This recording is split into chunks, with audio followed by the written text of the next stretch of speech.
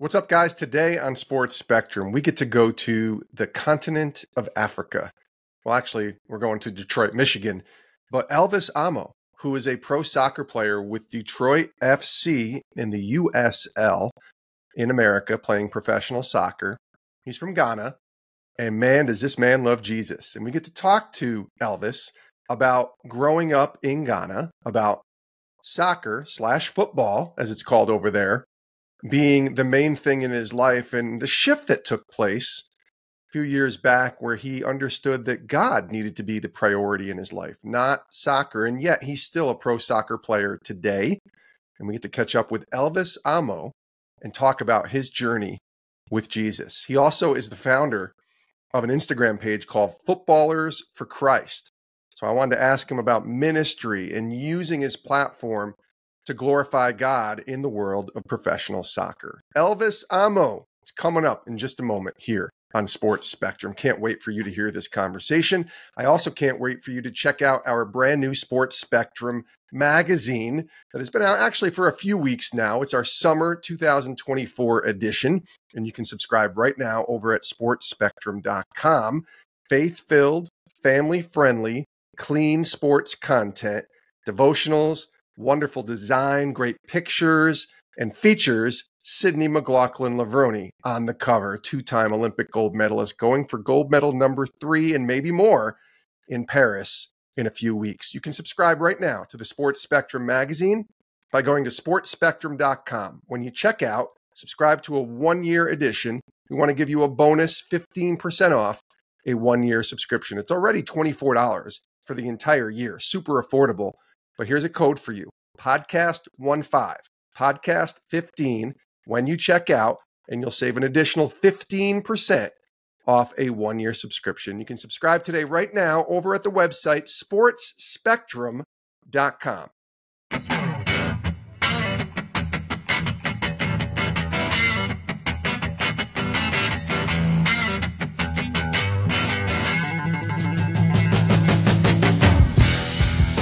is Elvis Amoh. Elvis, welcome to Sports Spectrum. It's good to see you, buddy. Thank you. Thank you for having me. It's a pleasure and an honor to be here. Yes, sir. This has been a long time coming. We met, I think it was last year. I got to come out and see you play some uh, some soccer in Hartford, Connecticut, near where I live here in uh, central Connecticut. And now you're over in Detroit, but you're still doing the soccer thing, which is great. We're going to talk about your love for soccer. We're going to talk about your love for football, as it's known where you're from, in a minute. But I want to start with where we should always start, and that's with your faith in Jesus. Tell me about who Jesus Christ is in the life of Elvis Amoh. Uh, thank you. Thank you for having me. Um, um, Jesus Christ uh, in my life, I would say He is my life. Um, that is the first thing I will say. Um, I remember back back when I was beginning my career, um, I used to say football is my life because I loved it. I loved it so much, and I was very passionate about the game. And um, as I grew and had encounters and began to understand, you know, my faith really well, it turned out to be that Jesus is actually my life and not football. So I would say Jesus is my life. When did that shift take place? When did football, soccer for the Americans, when did football go from being first place in Elvis's life to somewhere below where Jesus was for Elvis? Um, I will say, you know, in the beginning, uh, like I said, beginning my career, um, somewhere around 2016, um, 15, when I really signed my first pro contract in Ghana back home um, after signing the contract, I think playing the game and combining it with my faith, you know, I used to always put, you know, football first above my faith. Not in terms that I, I recommend, I like, I, I recognized that soccer was bigger than God for me. But then as I was playing the game, I began to understand that it doesn't fulfill me in all aspects of my life than what Christ does for me um, in my life. And so that was when the turnaround, you know, began to happen when I, I began to seek God more for, for who he is and not what he was going to give me in my career. So I would say somewhere around 2015, 16, thereabout. Do you remember your first encounter with Christ growing up? Um, yes, I could say I remember. I've had a few. I've had a few um, recent times, uh, but growing up, I, I, had a few encounters that were, you know, a little bit um, mind blowing to me. I remember a few. Yeah, please elaborate. Can you elaborate? yeah, I can. I can share a few. And so uh, I remember there was this time that I was really sick. Um, I was very sick because I was playing in the Coast football in Ghana. We call it Coast football. So I couldn't go and play that Saturday game. So I was just home shivering, you know, a massive fever. And then whilst I was just sitting down, I just decided to pray for myself because normally people like, you know, you go to somebody to pray for me that I get healed. But then I laid my hands on myself and prayed to Jesus. And then all of a sudden, I just felt great. Like I felt like nothing was going on in me. I felt like the fever just disappeared.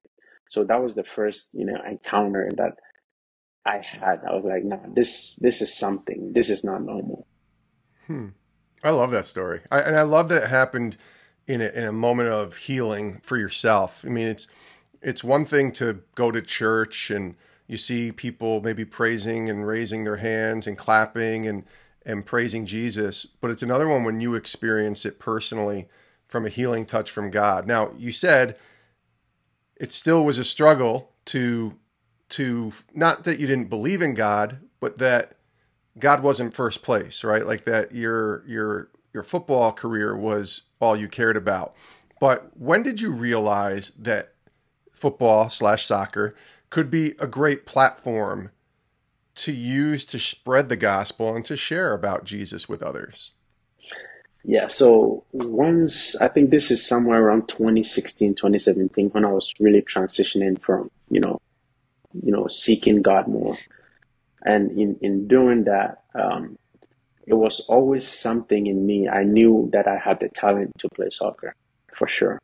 But then there was always something in me to push it onto others, letting them know that, hey, this is what God is doing in my life with soccer. And so I began to, you know, hear that voice of kind of being an inspiration to the young people that were also trying to, you know, make it to pro and stuff like that. That, hey, I know you want to play soccer, but if you seek God first, you know, He will help you in that process where even though you are doing this, you know, earthly, you know, work or this worldly game. You are not doing it for the for the fun of it, but you are doing it to glorify God.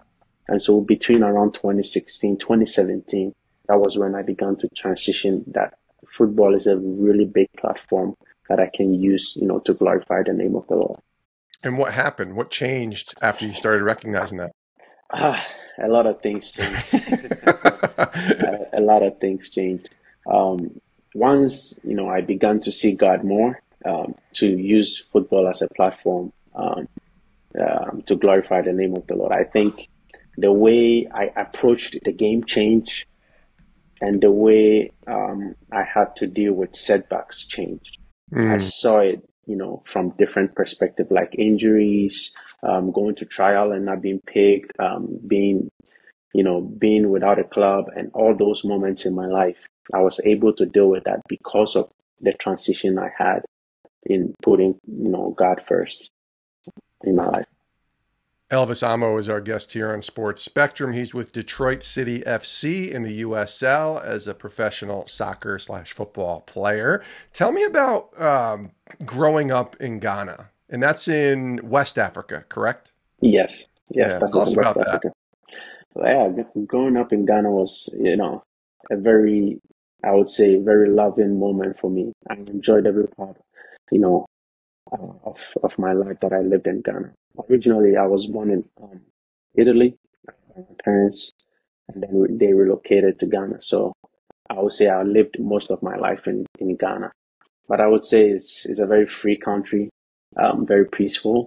Um, of course, there are things that could be very corrected, but I would say for the most part, um, I enjoyed, you know, um, living in Ghana. Is God Jesus Christ a, a, prominent thing as far as faith goes in Ghana that you saw, or was it was it not quite that prominent? It is very prominent, I would yeah. say, um, because from where I lived you know, in Ghana, of course, there are other, you know, religions and all that, but I would say that Christianity is very dominant and prominent back home in Ghana. So that's where you kind of were rooted, I guess, in your faith was going to church. Was that fair to say? Yeah, yeah, because my parents will, you know, take us to church on Sunday. I lived more with my grandmother, so she would take us to church every Sunday, um, tell us about God and all that. But then, even up to that moment, I had not really, you know, encountered God for myself, even though I would just go to church, Sunday school, and all that. Um, but yeah, I was rooted. I come from a, a, you know a Christian you know family. So when did you realize football was a sport that you were pretty good at? Was that something you you recognized when you were little, or is that something that because I'm guessing that's the dominant sport in Ghana as well, right? Football. Yeah, yeah, it is. When did you realize you you had a, a pretty good gift here that the Lord had given you? Yeah, I think um, when I was around like six, seven years old, because you know in Ghana it's normal for us to be playing soccer outside. Every kid, you know, play soccer. From that age, we would just play in front of the house, you know, with your friends. Nothing structured. We are just playing to have fun. Um, so I would say I began playing soccer around the age six, seven years old. But realizing that I could, you know, do it professionally was when I was about um, going into you know like primary school, junior high school, and high school, which was around like 11, 12 years old maybe. That was when I really realized that hey, I could make you know a good career of this talent God has given me. So when how does that work? Would you go to school during the day and then right after school, you know, go play some soccer, go play some football, and and and hone your skills, and then go home at night and finish your homework? Is that kind of what it was like? it's, it's definitely like that. You know, there are times where you just want to play with your friends, but then mostly when you go to school, there's a school team, especially when you're like in primary school, um, going to you know junior high school. There's a school team where like you join practice at school on Fridays, but then there are also like academies back home, like Coles football, where when you come back from school, you have to go there and go train, which is more structured um, um, in, a, in an academy form. So that is how it works. You go to school, play around a little bit, come home, go to Coles Football Academy, play, and then, you know, come back home in the evening, you know, do your homework. But sometimes, you know, your parents would be like, no, don't go anywhere, stay home. But then, yeah. because you're so passionate about it, you find a way, you know, to go play soccer and come back home. Totally. Do you remember your first trip to the United States? Yeah, I do. Where did you go? Straight to uh, DC. DC. Uh, DC okay. United. Um, sorry, um, DC, Maryland, Virginia. So I went to Virginia. That was my first trip. Was it kind of eye opening when you came to this? Like, what was that? Exp- I always wonder what that experience is like from someone who lived in Africa their whole life, and then suddenly they're they're in this this different place. Yeah, United States in the West. Yeah, it's it is like you said, it's an eye opening because you always see these things, you know, on social media, on the internet, on TV, and happen happening to be, you know, in that same, you know, instance or in that same experience is, was very different. It was very different and was like a little bit refreshing. Okay, I see this on TV now. I'm here. You know, it was it was really nice. It was a good experience for my first trip. One of the questions I wanted to ask you was what have you seen as someone from West Africa about how Christianity and faith are here in the US as compared to in Africa? What's the difference? Um, I wouldn't say there's so much difference. Maybe, you know, cultural ways, you know, um, cultural wise, you know, how Ghanaians or Africans will probably do their praise will not be the same as how the states will do their praise, you know, to God, which is the same, is the same foundation, is the same experience, but I would say culturally, that is where the boundary is. But I don't think it's even a problem.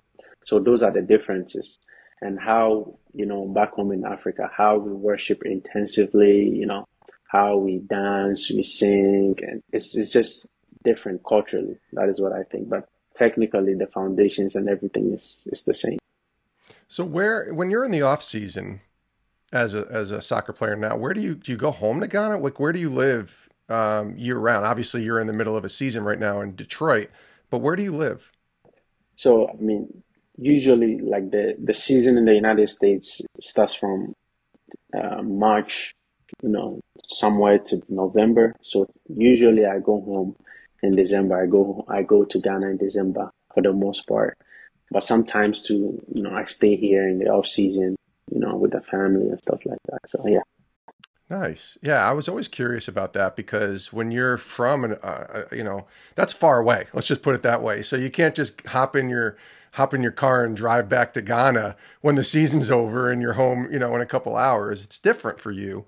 Um, so I, I was wondering about that because I think, like you mentioned, there's a cultural shift that takes place when you come here um, versus you know growing up in Ghana where you were.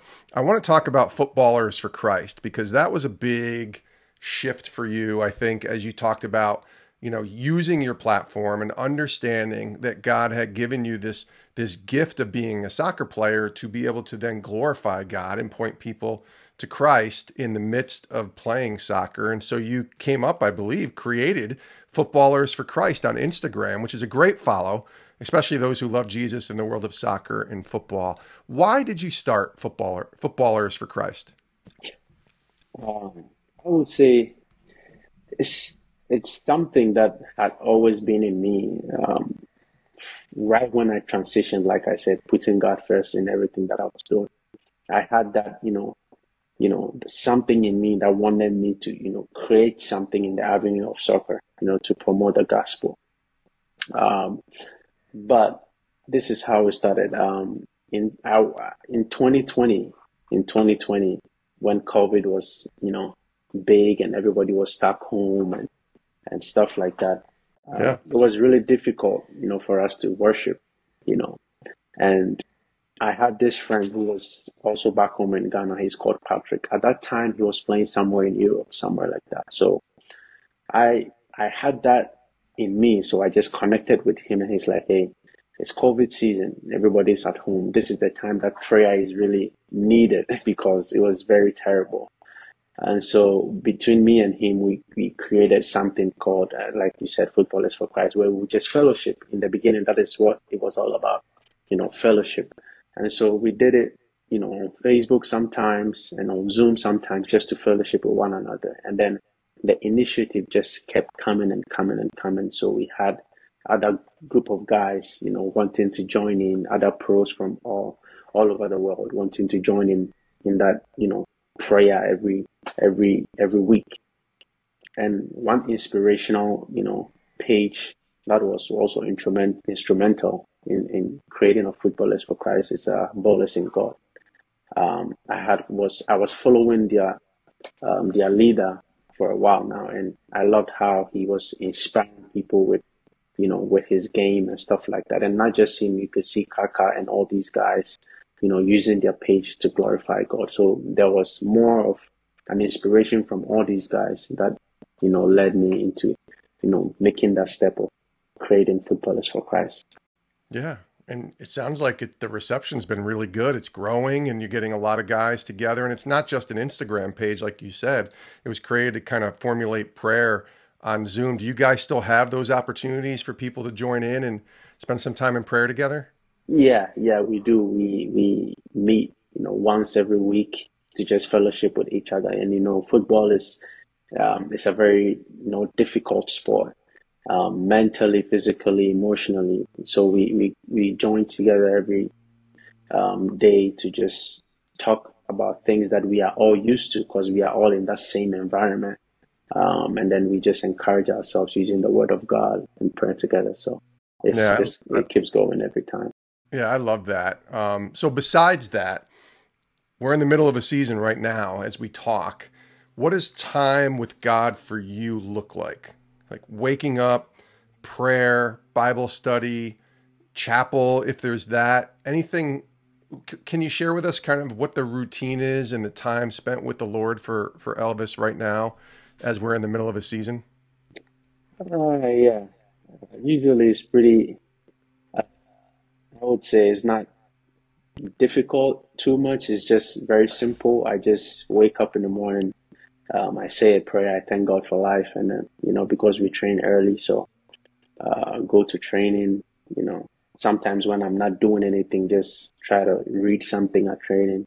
But then after training, um, I have a lot of Bible studies that I, I join. Sometimes, you know, on Tuesdays, on Wednesdays, it's, it's packed during the week. So from church wise and on Sundays, um, if I find a church that, you know, I like in that area, I go there on Sundays when we are off. So it's not a crazy routine, but it's always trying to squeeze in, you know, um, God in the schedule.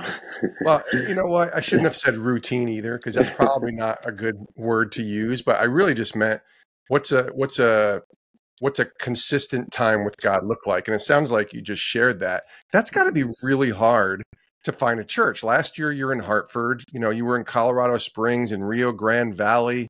Now you're in Detroit. That's got to be pretty hard to find a church, um, a, a, a stable church that you can attend, especially in the fact that when mm. you're on the road, you have a mm. lot of games to play on Saturday nights. So it's hard yeah. to get up and, and, if you're traveling to even go to church on Sunday. But you've been able to do that a little bit.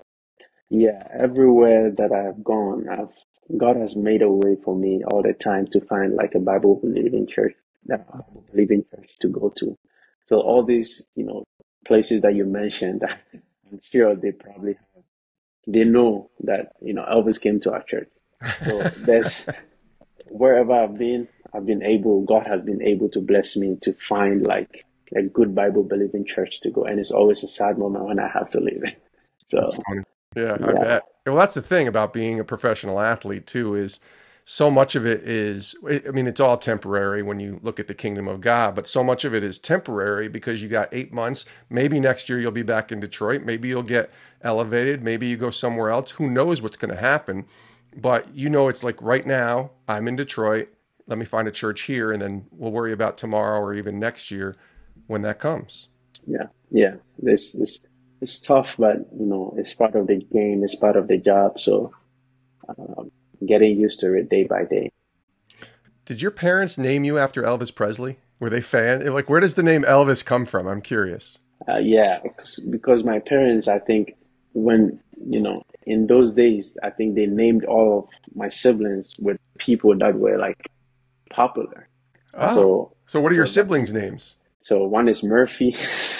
like Eddie Murphy. yeah, one is Dolly. Dolly. Okay. Yeah, this is fascinating. What's yeah, one? one is Kevin. You know, you know Matilda.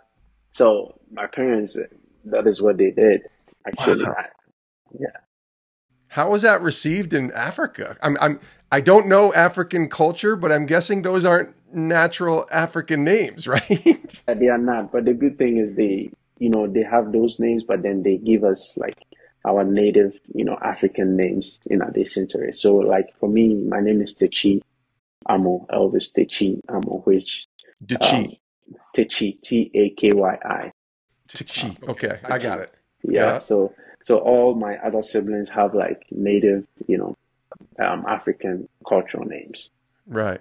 But Elvis is cool too. Like, do you even have an? Do you have Elvis? You know, memorabilia or anything like that? Like, are you do you even like Elvis Presley's music? I'm still yet to do a little, you know, research. A little research. I mean, I have a few. I, I know he was a singer. Yes. I know he started from the church, but I'm still yet to go deeper into into who he really was. But yeah, there was a movie that came out a couple years ago on his life that you could probably just watch and get a good reflection of that. But he was he was big time. I'll just say that in the United States. So your name, you know, there's not a lot of other Elvises out there. It's Elvis Presley and Elvis Amoh. There you go. Um, I like that. Maybe, maybe. Well, listen, um, as we wind down, I just want to ask you this question kind of to close. Um, when you're in time with in prayer with God, like what is your prayer to God today? Like if you could just say, okay, Elvis, time to pray pray to God. And obviously, giving thanks is important. But like, what's your prayer right now? What's been on your heart with God? Um, lately, um, when I go into prayer, uh, one of my you know my my topmost things that I, I always ask God is that that I do not derive away from His will for my life. Yeah, because I think that is what shapes me and it affects my daily, you know, decisions. Um, so that is one prayer that I always pray that Father Lord help me that I may not derive away from your will for my life, what you have purposed for me to do. So that is one prayer that I always pray. That's beautiful. I, I tell people when you pray, your will be done, God, you know, Jesus is in the garden, right? And he's sweating drops of blood. And what does he say? He's like, take this cup away from me. And then he says, not my will, but yours be done. I tell people all the time that is the most dangerous prayer to pray. Here's why because it takes all control out of your hands. Right? But yet, but yet you pray that every day. Yeah. And funny enough, when you when you you know in Footballers for Christ, um, our slogan is God's will and nothing more. Mm. So it's, yeah. it's it's something that has always been part of me, and I've I've learned it the hard way that His will is not always pleasant with me, uh, because yeah. there's been times where um, I ask questions like, "Why is this happening? Why am I injured? I thought this year was going to be a great year. Um, I got this prophecy. I think I had this dream that the year was going to be great. Why am I out after three games? Why am I out after five games? Why am I not scoring?" So there's always so much questions, but then it boils down to like what you just said. You know, not mine will, but you know, your will be done. So maybe that is his will for my life, but then it doesn't push me away from working hard or continually seeking his face to do great things. I always have that final, you know, slot that it always lands me into that, hey, his will is always the best, you know, for you. Yeah, it's it takes the pressure off too, by the way, because if we think we can do all this and control all this and have all this amazingly awesome gifts to be able to that's when our egos get in the way and ego is easing god out i've heard. And when you think about that it's true. When you say not my will but yours be done now you're playing freely you're living freely to know that god's plan is perfect. So i love what you're doing. By the way i forgot to tell people you mentioned that cold weather when you were being healed when you were seven earlier this year the very first game i believe right was in colorado tell the story because they had just gotten like a blizzard. And actually, my boss Howard got to go watch you play. I didn't know this until after we spoke, but you were playing in freezing cold Colorado in March. Knowing that we're talking now well into the season where it's warmer, it's probably so much better. But what was that like? What is it like to play? Because you guys even had to dig out a little bit just to have room to prepare and practice, right? Yeah, it was it was it was a it was a wild, you know, um, game um, on that day because it, it was our first game of the season. Yeah. And, you know, Colorado is known for being very cold and that weekend it snowed the whole time. So we're like, is this game even going to come on? But then we had to shovel out some, some, some part of the snow. I think, you know, the, the fans helped in doing that. But it was very cold. But you scored was, a goal in the game, so that's good. Yeah, yeah. It was it was a good one for me. It was a good start. I thank God for that, but it was really cold.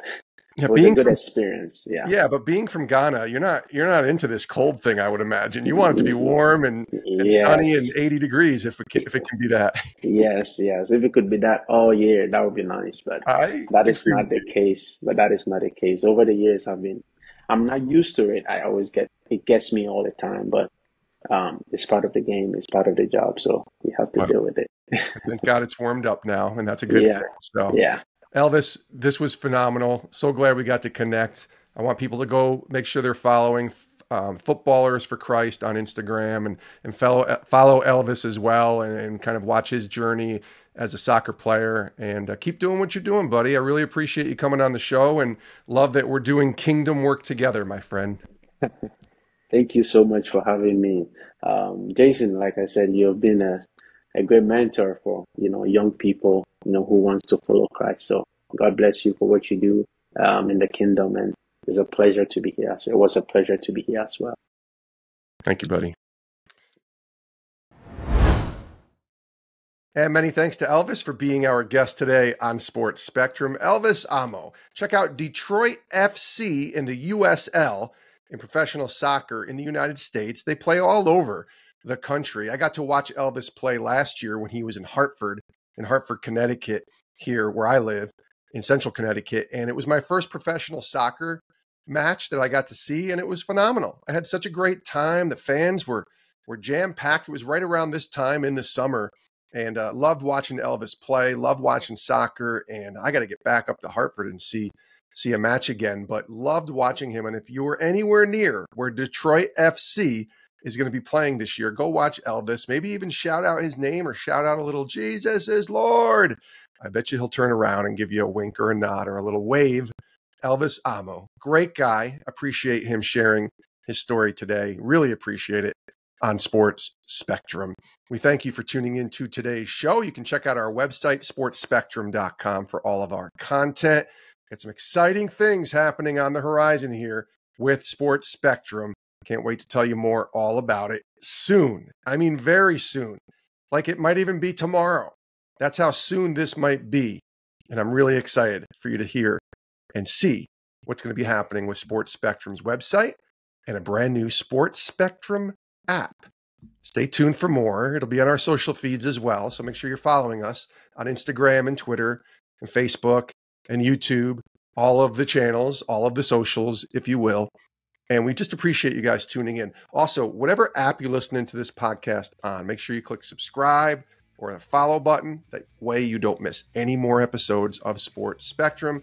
And then lastly, just tell someone if you want to let someone know about this episode with Elvis or an article or a devotional that's on our website. Man, telling others about Sports Spectrum is the best way that we can collaborate together to share the gospel with the world. That's what this is about. Using sports as a way to share the gospel of Jesus and the hope that's found only in Christ with the world. So we love you guys. We thank you so much for your investment with Sports Spectrum and tuning into today's show. And we'll see you next time right here on Sports Spectrum. Have a great rest of your day. Hey, thanks for watching Sports Spectrum here on YouTube. You can click our next video or you can check out our website, sportsspectrum.com.